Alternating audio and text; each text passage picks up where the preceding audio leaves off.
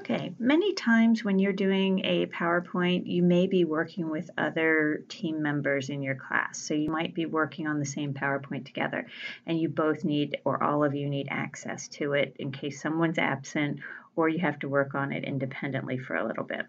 But in order to share a file so other people can see it and have access, all you have to do is go up here to the top corner and you'll see this share button. When you click that,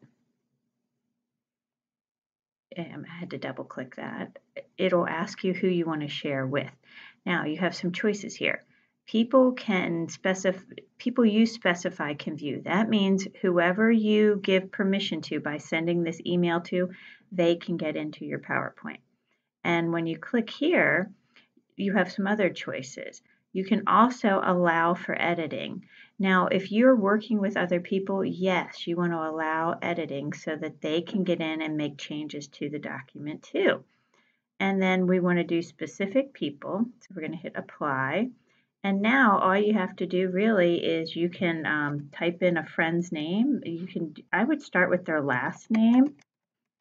And I'm putting in one of my friends and there she is. And I can click it and then she has um, access to my file and I can send a message by typing I am sharing my demo file with you.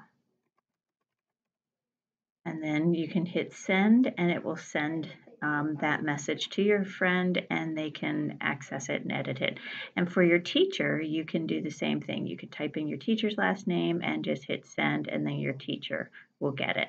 If you are working with other people, you can also add comments without making changes. Right up here, there's a comments button and you can add in comments and you can even write back with little messages to the people you're working with so that you can make changes as needed. So that's how we share our finished um, or while we're working on a project.